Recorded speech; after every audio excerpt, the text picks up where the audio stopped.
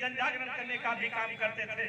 यही विचारधारा को लेकर के माननीय राष्ट्रीय अध्यक्ष, तत्कालीन राष्ट्रीय अध्यक्ष माननीय मुलायम सिंह यादव ने उन्नीस सौ बानवे में समाजवादी पार्टी का गठन किया और पूरे देश के समाजवादियों को इकट्ठा करके समाजवादी पार्टी के नेतृत्व में इकट्ठा किया और देश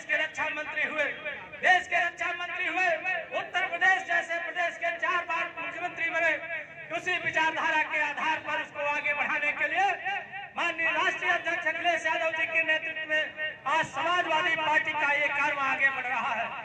मित्रों, नौजवान साथियों, आने वाला समय बहुत भयावह है उन्नीस सौ इक्यानवे में मैं इसी प्रतापगढ़ में समाजवादी योजन सभा का अध्यक्ष बनकर के आया था।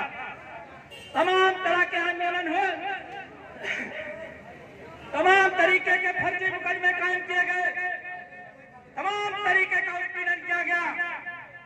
छविनाथ यादव जी, आज उसी की मिसाल है। जिस अन्याय और अत्याचार के खिलाफ समाजवादी पार्टी संघर्ष करती है तो ऐसे लोगों को जेल के सीटों के पीछे भेजने का काम किया जाता है। ये लड़ाई बहुत आसानी नहीं है मित्रों।